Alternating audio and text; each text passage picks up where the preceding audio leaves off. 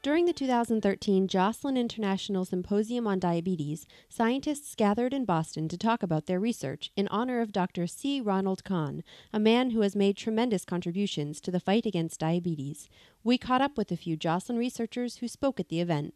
So I spoke about uh, the recent work uh, that we have done in the lab, which focuses on trying to identify novel factors which are in, important for beta cell proliferation as we all know, uh, factors which can induce uh, proliferation of uh, functionally relevant insulin secreting cells will provide opportunities to create therapeutics for treating patients with type 1 and type 2 diabetes. So, uh, what I spoke about was identifying a novel molecule called serpin B1, which we believe is a uh, important uh, protein which is able to induce proliferation of uh, mammalian beta cells, uh, including human beta cells.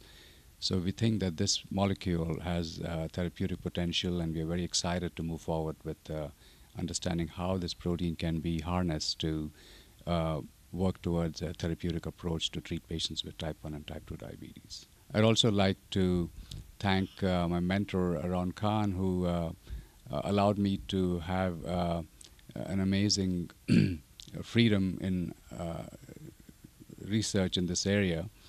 And one uh, factor which uh, always keeps uh, uh, reminding me about his uh, mentorship was go with the data.